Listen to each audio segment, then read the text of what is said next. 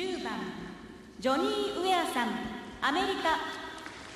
Number 10, representing USA, Johnny Ware. 直前ゲーブルが素晴らしい演技を見せましたアメリカ20歳ジョニー・ウィア。ーショートプログラムトップ。集中力を高めます。まあ、ゲーブル選手が非常に良かったので、ええ。それがプレッシャーにならないといいですね。フィギュアスケートはジャンプだけではないこんな魅力があるということを教えてくれます。ジョニー・ウィアー。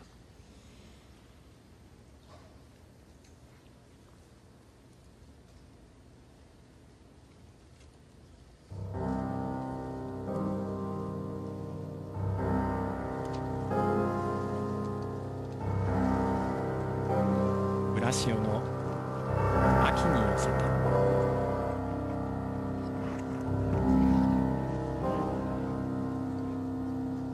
美しい流れのある演技が魅力ですまずは最初のコンビネーション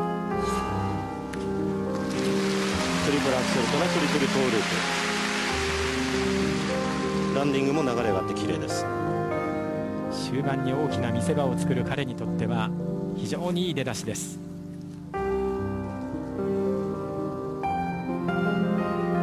次のコンビネーションで4回転も飛ぶか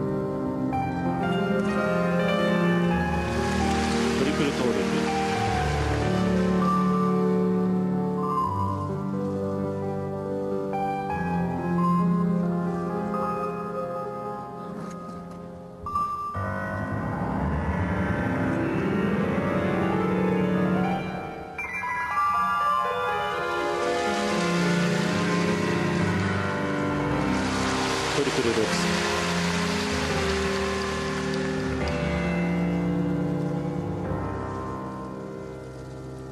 指先にも注目です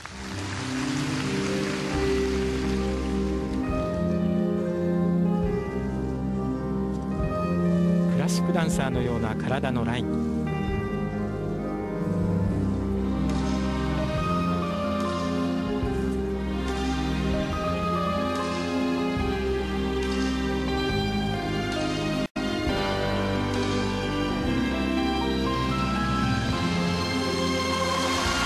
リプルアクセル。高いアクセルです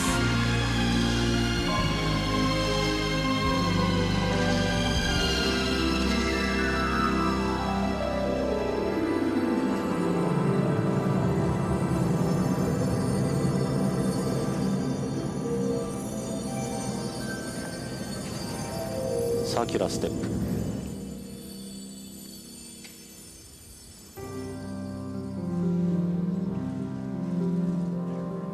エマニュエル・サンデュのように流れるスケーティング。そして軸のぶれないスピン。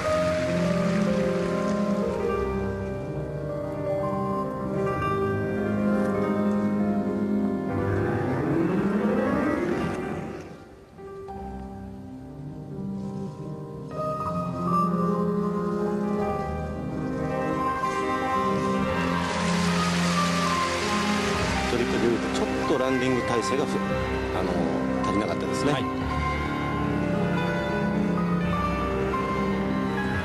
この後3回転ジャンプを2つ用意していよいよ彼の見せ場最終盤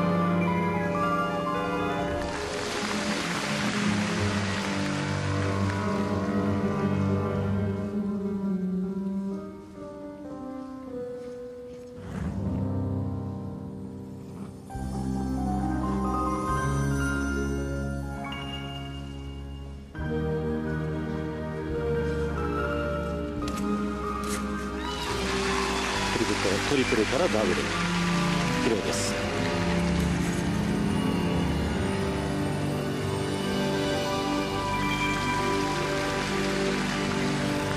ここからです彼の美しさを堪能してください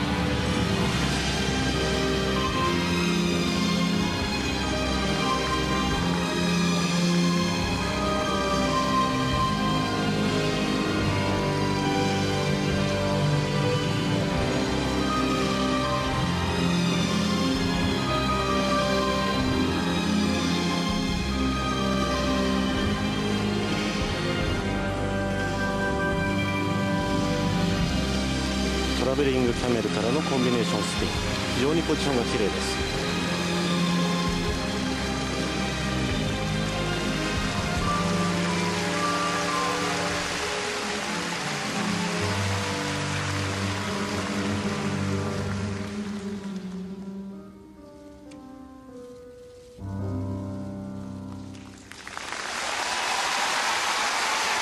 テップシークエンスから最後のスピンまで拍手は鳴りやみません。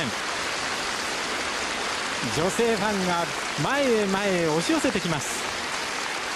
アメリカジョニー・ウィアー。もう最初からあの最後まで流れが止まらなかったですね。そうでしたね。まさにそうですね、それとあのウェア選手のすごいところはですねジャンプが決まるとランディングのポジションが非常に綺麗ではい。降りた後にさらにエッジが加速していくんですねあのジャンプを飛んだ後っていうのは大体スピードが落ちるもんなんですけれども、はい。その流れが全く止まらないですね綺麗に決まった時は。ファンの声援にウィンクで応えました。笑顔に戻った20歳ジョニー・ウィアー。またあのスピンもポジションが綺麗ですし。このアクセルジャンプも高くそして五十嵐さんが評価なさったランディングここからです。ここから、まあ、コンビネーションなんですけれども、はい。これが終わった後にですねこのポジションも綺麗なんですけれども、えー。スッと流れ出るんですね。なるほどここで右足が前に出ます。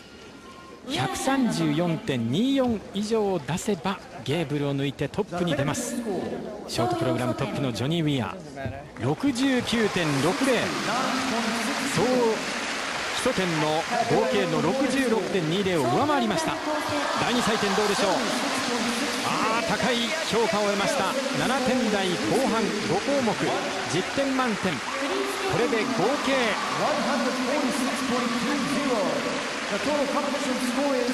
ゲームを上回りました。220.2520歳のウィアー。この表情。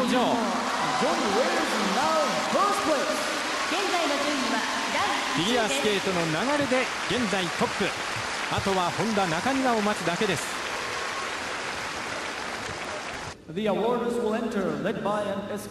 アメリカ勢1位2位そしてフランスのダンビエが3位に入ってきています.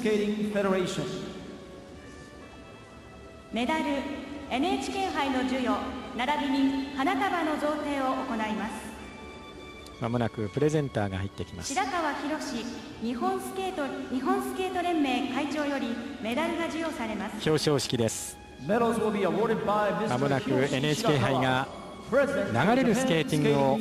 前面に押し出したジョニー・ウィアーに手渡されます。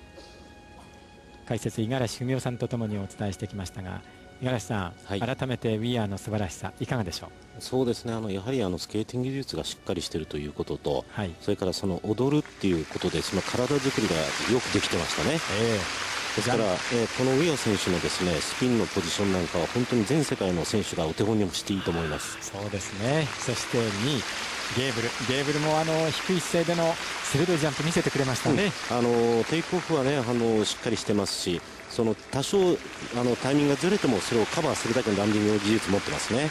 見せるスケートならこの人もそうでした。フレデリック・ダンビエ。楽しいスケートを見せてくれました。それにしてもウィアーが見事に優勝を飾りました NHK trophy will be awarded by Mr. Tetsuo Kasai. NHK の笠井哲夫副会長から NHK 杯が手渡されるところですウィアーは本当にあのフィギュアスケートの楽しさを見せてくれましたねそうですねあの美しさと力強さ、まあ、そういったものが全て出た出たと思いますはい見事アメリカの20歳ジョニー・ウィアーが NHK 杯初優勝を飾りました見事な流れるスケー.トクラシックダンサーのような見事なスケーティングでした。